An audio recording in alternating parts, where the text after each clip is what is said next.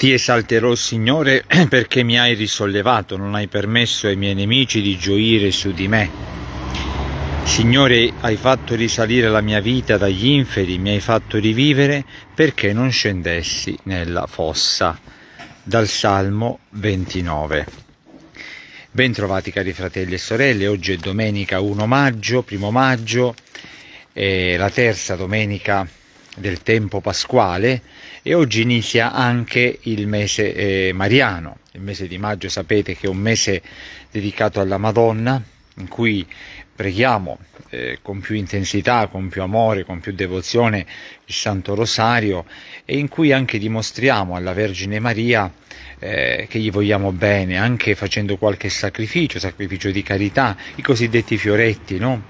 i fioretti che possono durare un mese intero, tutto il mese di, eh, di maggio anche leggere di più la parola di Dio. Eh, ecco, fare questo è molto bello perché ecco, la Madonna gioisce quando noi ci impegniamo un pochettino a camminare nella fede. Poi ecco, in questo mese di maggio, che è mese mariano, sarebbe opportuno che eh, in tutte le case ci fosse eh, un, un, angolo di preghiera eh, in cui venga esposta la statua della Madonna, eh, la Bibbia, eh, un cero acceso e così diciamo nelle case eh, eh, si preghi anche, cioè non soltanto in chiesa per la Santa Messa ma anche nelle case in modo che eh, anche i bambini capiscono che il mese di maggio è un mese particolare dedicato alla Madonna, è il mese anche in cui la primavera si fa più, più visibile, quindi c'è una primavera nella natura e ci dovrebbe essere così anche una primavera spirituale eh, dentro di noi. Eh, quindi il mese di maggio è quella la Madonna che agisce dentro di noi e favorisce questa primavera nello spirito, no?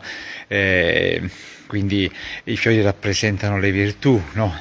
eh, i profumi, la carità, l'amore verso gli altri, eh, l'umiltà.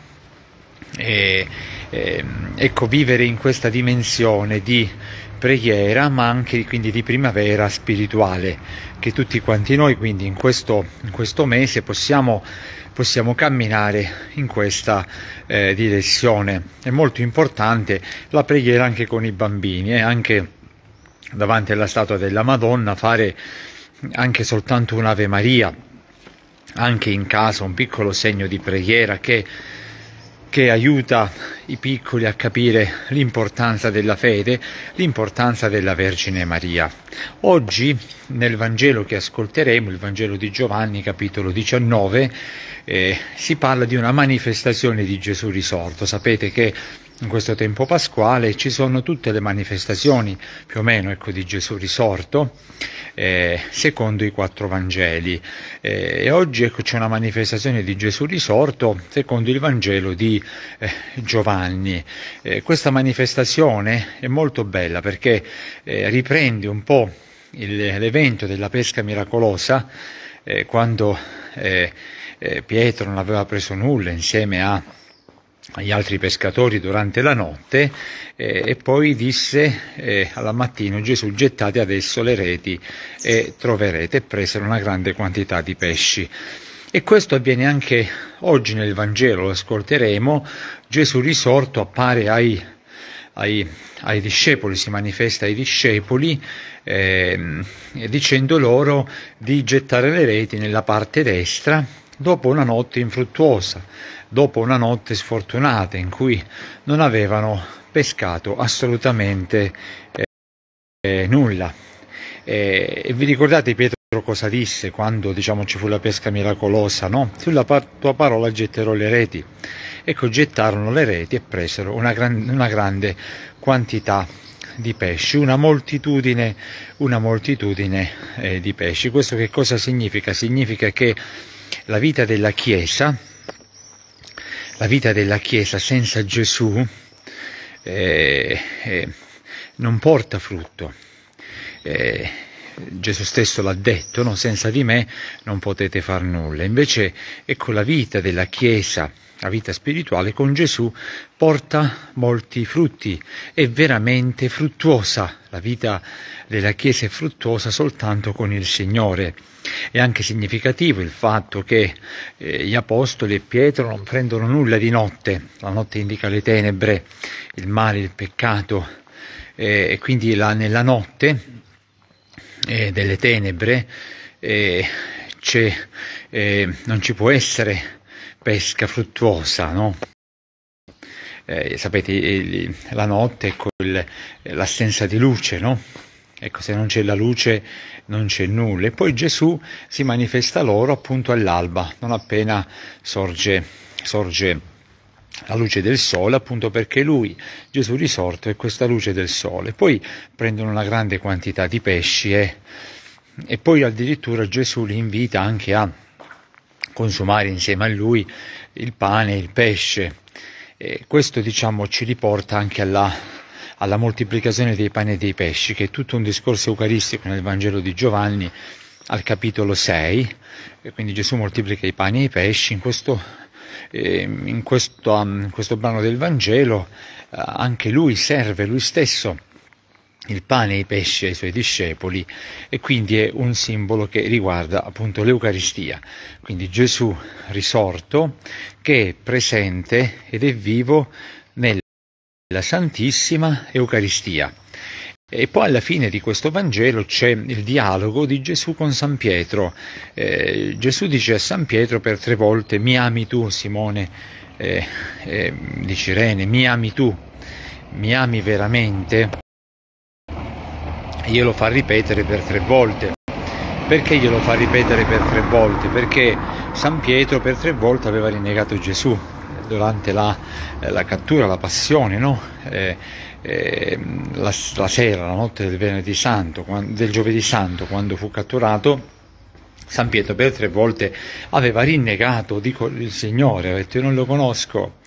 Eh, e Gesù gli appare, si manifesta a lui e parla con lui eh, rinnovando quindi una triplice professione di fede anche come riparazione di quella triplice, eh, eh, del, del, triplice rinnegamento eh, del Signore. È molto significativo il fatto è che Gesù dice a San Pietro mi ami tu più di costoro, pasci le mie pecorelle. Un po' in questo brano c'è anche il primato di Pietro, il primato di Pietro è presente in tanti brani ecco, del, eh, del Vangelo, ma anche in questo, in, questo, in questo brano. Infatti si dice mi ami tu più di costoro. Quindi la vocazione del Papa, la vocazione del Papa, sapete il Papa è Pietro che continua a essere, eh, a guidare la sua Chiesa, no? eh, mi ami tu più di costoro. Eh, quindi ecco, più una persona ha responsabilità e più deve amare il Signore eh, questo è molto importante eh, perché, perché ecco, nella Chiesa, ecco, i vescovi, i cardinali, il Papa, ma anche i sacerdoti, ma anche tutti coloro che sono impegnati nelle attività pastorali, anche il catechismo, no?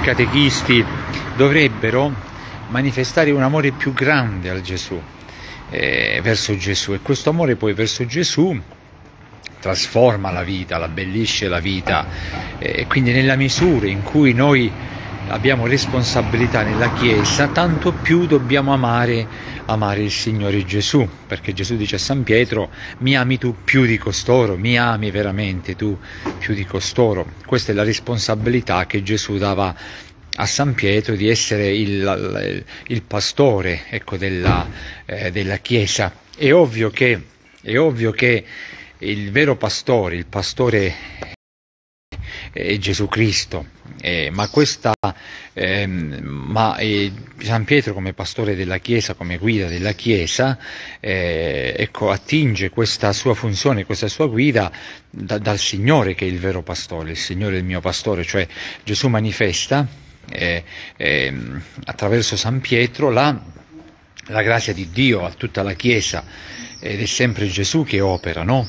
Quindi possiamo dire che San Pietro partecipa eh, di questo carisma, no? di questo carisma meraviglioso, perché Dio stesso, Dio Padre, parla direttamente al Papa per guidare la Chiesa. Ecco, e Gesù si manifesta anche a noi, non è che si è, si è manifestato agli apostoli, ma si manifesta anche a noi come dicevo prima, soprattutto durante la messa, quindi la partecipazione a messa è fondamentale eh, per, eh, cui, per vedere Gesù, per amare Gesù, per ascoltare Gesù. E quindi Gesù risorto si manifesta a noi durante la Santa Messa. Il momento più forte, più bello ecco, della Santa Messa per me è quando ci sono le, le parole della consacrazione eh, questo è il mio corpo offerto in sacrificio per voi, questo è il mio sangue versato per voi e per tutti, e poi anche con la comunione, cioè possiamo dire che come, come Gesù si mette a servire gli apostoli, abbiamo ascoltato nel Vangelo di oggi, così durante la messa continua a servire e ad amare ciascuno di noi. Ecco, Gesù ci vuole veramente bene.